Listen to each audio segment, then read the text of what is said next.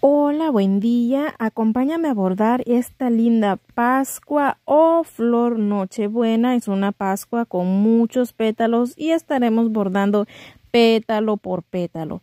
Estaremos iniciando con un tono de blanco. Esta es lana y lo estaremos utilizando en hebra doble. Estamos utilizando agujita del número 6 y estamos realizando puntaditas en horizontal porque vamos a realizar una base de cobertura total. Para avanzar un poquito más rápido estamos utilizando hebra doble. Si gustas también lo puedes hacer en hebra sencilla, no hay problema.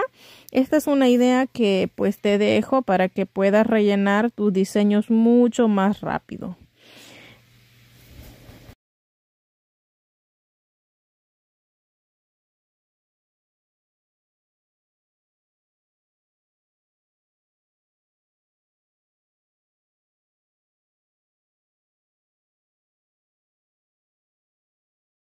Terminado nuestro bordado anterior, pues ya tenemos nuestros pétalos completamente rellenos y vamos a cambiar a un tono de hilo en tono rojo, siempre utilizando hebra doble y vamos a salir en la parte de arriba de nuestro pétalo, observa muy bien y vamos a empezar a posicionar puntaditas en vertical, ok, de esta manera, una puntadita de cada lado de la punta de nuestro pétalo. Vamos a terminar en la parte de arriba y vamos a trabajar con estas dos puntadas. Lo que vamos a hacer es lo siguiente, vamos a empezar a hacer unas puntaditas de amarres o de envueltos. Observa muy bien, aquí tenemos una, dos, tres, cuatro, cinco, seis, siete, y ocho puntaditas y estaremos llevando nuestra puntadita al lado eh, izquierdo y estaremos posicionando una puntadita en diagonal. Posterior a eso saldremos un poquito más abajito de la primer puntada y vamos a levantar la puntada del lado derecho, ¿ok? La puntada en hebra doble del lado derecho la levantamos y pasamos por debajo de la y pasamos por encima, perdón, de la puntada izquierda. Nuevamente llevamos la puntadita en diagonal hacia arriba tratando de que quede a una misma altura de la primera. Posteriormente dejamos el mismo espacio y aquí es donde empezamos a trabajar nuevamente levantando la hebra derecha, la hebra izquierda, perdón, y empezamos a hacer lo mismo, una puntada de amarres. Aquí llevamos una, dos, tres, 4, 5, 6, 7 y vamos a posicionar nuevamente otra puntadita en diagonal de esta manera. Salimos en la parte de abajo dejando un pequeño espacio. Vamos a levantar ahora la puntada del lado derecho y volvemos a posicionar otra puntadita en diagonal calculando que nos quede a la misma altura que la primer puntada. Salimos abajo y empezamos nuevamente con nuestra puntadita de envueltos, levantando primero la puntada derecha, luego la puntada izquierda, teniendo de 7 a 8 puntaditas de envueltos, tienes que irlas contando, pues vas a empezar a hacer las puntaditas a las orillas así como te las muestro. Esta será una base para trabajar otra puntada, así que es muy importante que sigas los pasos así como te los estoy mostrando para que de esa forma pues te quede de la mejor manera la siguiente puntada. Vamos acomodando y posicionamos nuevamente la puntadita del lado derecho, salimos un poquito más abajo de la primera puntada y empezamos nuevamente con el levantamiento de las puntadas que están en el centro. De 7 a 8 puntadas de envueltos le vamos a realizar a estas dos puntadas que están en el centro. Así de esta manera volvemos a realizar las puntadas de las orillas.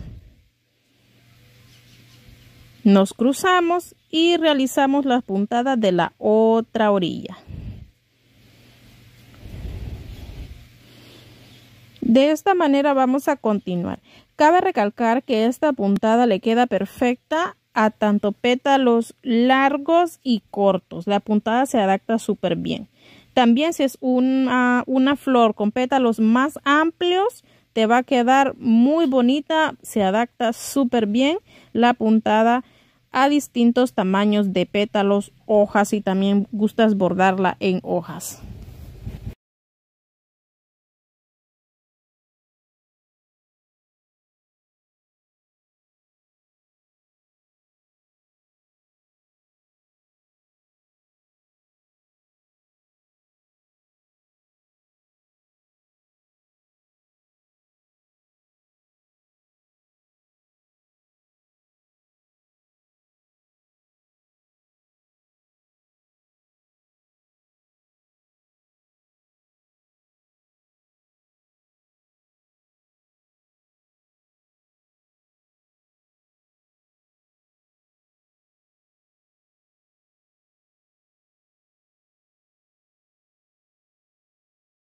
Terminada la puntada anterior, de esta forma nos va a quedar este tendido. Ahora vamos a trabajar con este tendido y vamos a realizar unas puntaditas de la siguiente forma.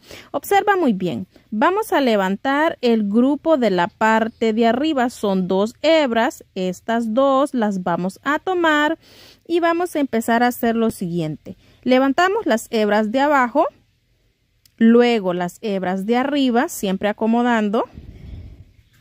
Otra vez las hebras de abajo. En total vamos a levantarlas de 4 a 5 veces. Y observa muy bien que la puntada la estoy realizando de afuera hacia adentro. ¿Ok? Teniendo esta cantidad de hebras realizadas, vamos a tomar otro grupo de hebras que está en la parte de arriba, que serían dos, y empezamos a trabajar con este nuevo grupo de líneas y con el grupo anterior. Iremos subiendo levemente y de esa forma iremos soltando de una en una las puntadas, así como lo puedes observar. Ahora tomamos el grupo de arriba y empezamos a hacer nuevamente de 4 a 5 envueltos por la parte de adentro así de esta manera nuevamente continuamos de la misma manera hasta llegar a la parte de arriba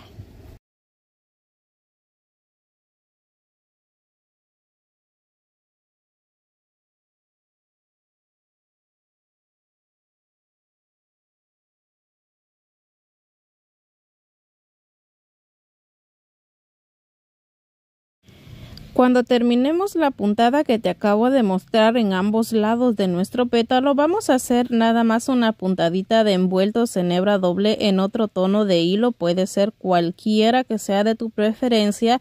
Yo estaré utilizando el hilo blanco y lo único que voy a estar haciendo aquí en este paso es levantar los grupos de envueltos en tono rojo. Los voy a levantar y voy a pasar nada más una vez por debajo de ellos en mi tono blanco y quedará un bonito efecto. Dará la apariencia como de dos tonos juntos, muy bien colocaditos. Este paso es opcional, si tú gustas ya puedes dejar tus pétalos de esa manera, pero si no pues realízale este paso y te va a quedar mucho mejor tu puntada. Terminados los pasos de ambos lados de nuestros pétalos y terminados los pasos en todos los demás pétalos, pues vamos a empezar a hacer el contorno de cada uno de nuestros pétalos. Estaremos utilizando la puntadita de trencita o puntadita en ojal, toda juntita en hebra doble tono rojo y estaremos remarcando el contorno de cada uno de nuestros pétalos. Puedes realizar cualquier otra puntada, ya es a tu gusto y a tu elección. De la misma forma, puedes utilizar cualquier otra tonalidad que a ti más te guste. Yo decidí realizar mi pasca en tonos blancos y rojos, pues son los colores de la Navidad, colores alegres.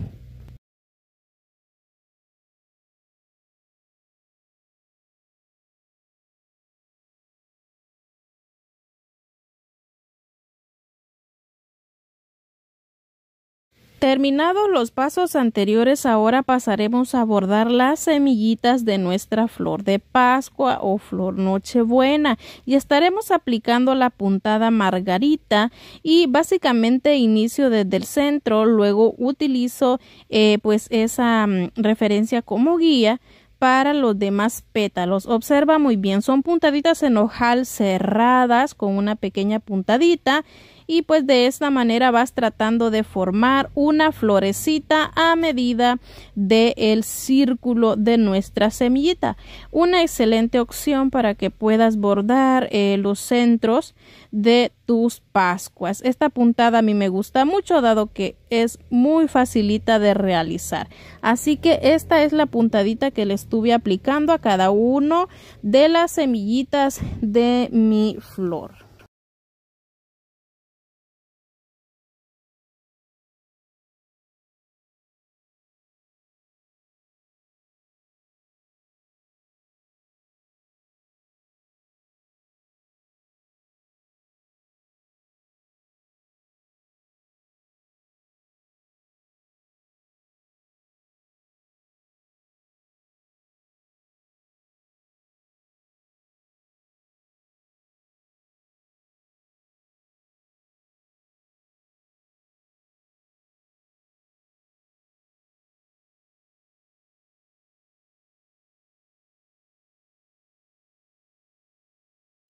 Una vez terminado todo nuestro trabajo, de esta forma se va a ver nuestra linda Pascua del día de hoy. Espero te haya gustado la puntada. Este ha sido todo el resultado de nuestro bordado. Eh, a las hojitas nada más le estuve remarcando las orillas con un tono verde oscuro y pues nada más remarcamos el contorno con puntadita en ojal o puntadita trencita. Esa también es otra idea si tú pues quieres bordar tus hojitas de forma sencilla, pues puedes ver esta otra forma. Te he dejado varias ideas para bordar tus hojas de Pascua y pues para que te queden súper bonitas. Bueno, mis queridos amigos, esto ha sido todo de mi parte. Yo soy tu amiga Jessie desde El Salvador. Te compartió esta hermosísima puntada con muchísimo amor y cariño, esperando la sepas apreciar. No se te olvide compartir. Te espero en el próximo. Adiós.